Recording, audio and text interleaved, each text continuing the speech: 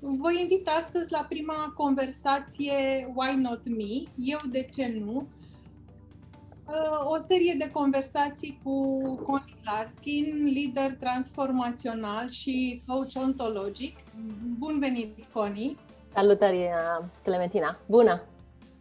Mă bucur pentru această oportunitate de a avea această serie de întâlniri pe care le vom organiza cu un ritm de uh, o întâlnire pe săptămână, uh, în care ne propunem împreună să explorăm uh, cât mai mult legat de uh, ființa noastră, de posibilitățile pe care le avem pe acest pământ, de rolul pe care uh, fie îl alegem, îl asumăm sau simțim că l-am primit și despre modul în care putem să facem o transformare reală pentru noi și pentru cei din jurul nostru.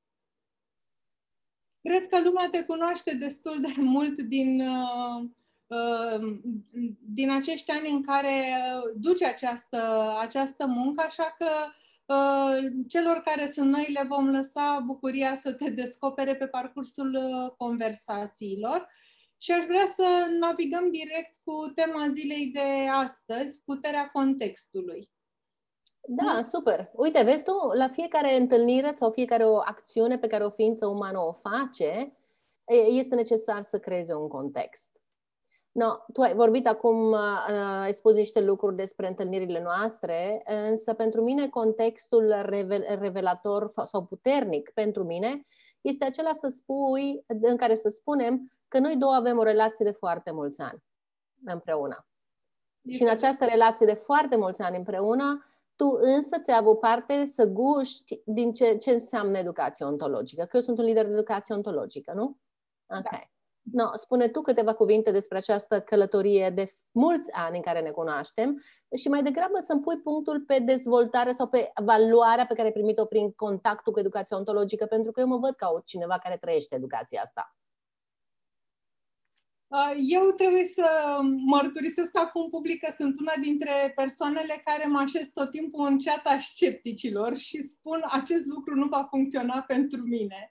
Și mai am și un comportament sau aveam un comportament că în această călătorie de șlefuirea mea și de um, acordarea ce înseamnă viața mea, sper că am făcut câțiva, câțiva pași buni Uh, fac transformările sau accept transformările abia atunci când am acea conversație interioară că așa nu se mai poate. Și atunci mă duc și caut în zonele în care uh, poate înainte spuneam uh, asta nu va funcționa pentru mine. Și evident așa a fost experiența mea și cu educația ontologică. Am rezistat eroic vreo șapte ani în care vedeam oameni în jurul meu care aveau parte de ea, care făceau transformări, Uh, mă bucuram pentru ei, dar de câte ori venea ideea că eu va trebui să fac ceva, spuneam pentru mine uh, nu va funcționa. Până în contextul în care uh, am participat la unul dintre cursurile tale, cel de Time,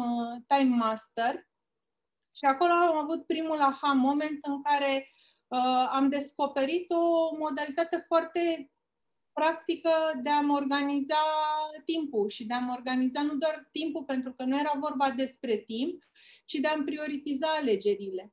Și atunci uh, a început cumva călătoria mea în partea asta de uh, dezvoltare ontologică. M-am bucurat foarte mult de tot uh, coachingul de care am uh, beneficiat și experiența pe care noi două am avut-o împreună, motiv pentru care astăzi uh, ne și aflăm la aceste întâlniri în care să, să continuăm cumva public uh, conversația și să uh, lăsăm și pe alții să guste din aceste idei care pot să ne transforme. Am înțeles. Deci contextul din care tu îți trăiești tu viața ta și de care ești conștientă este că ești o persoană sceptică. Ție nu ți se poate întâmpla. Da, da, da. Deci de cele mai multe ori mă, mă, mă pun în această în acea, o consider acum o conversație asta, grație întâlnirilor pe care noi le-am făcut și antrenamentului. Uh,